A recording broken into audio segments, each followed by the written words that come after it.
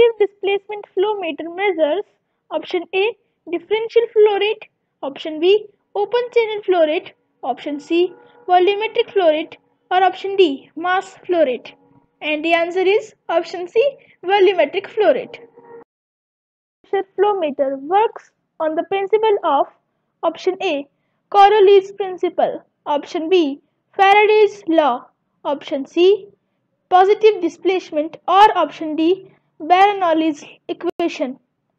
And the answer is option D Bernoulli's equation.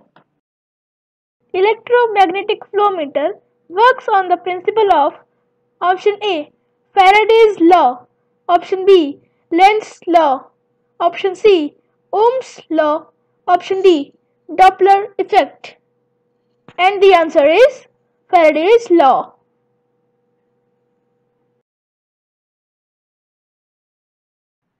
Ultrasonic flow meter works on the principle of option A Faraday's law, option B Lenz's law, option C Ohm's law or option D Doppler effect. And the answer is Doppler effect.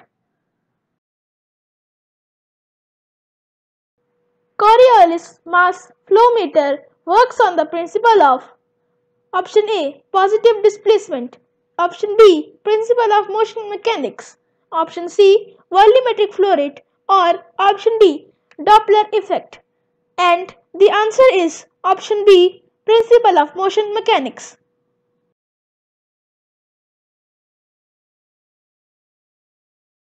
The major disadvantage of positive displacement flow meter is option A. Poor accuracy. Option B. Upstream and downstream requirements. Option C. Moving parts or option D. Not suitable for viscous fluids. And the answer is option C. Moving parts.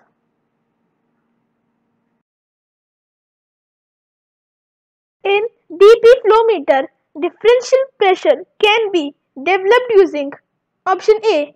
Orifice plate, option B. Flow nozzle, option C. Venturi tubes or option D all of these and the answer is option D all of these.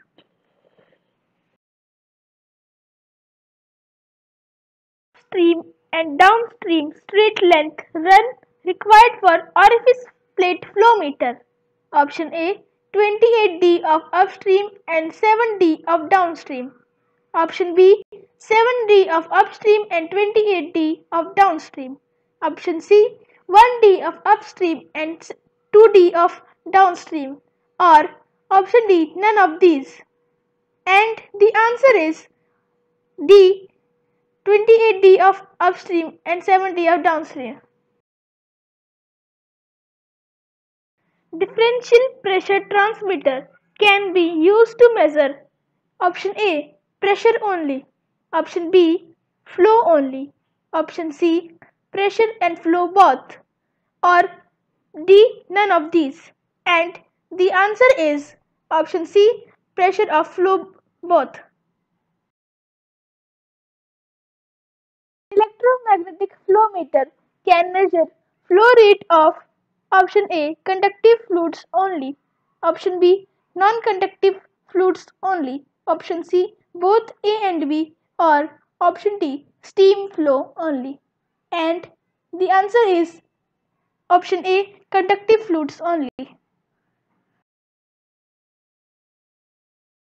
The output produced by turbine flow meter.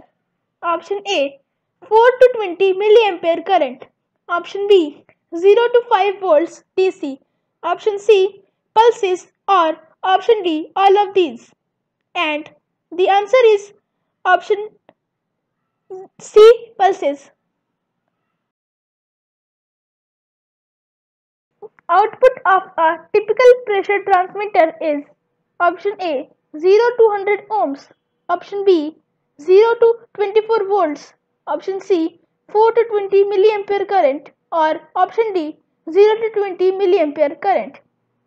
And the answer is option C 4 to 20 milliampere current.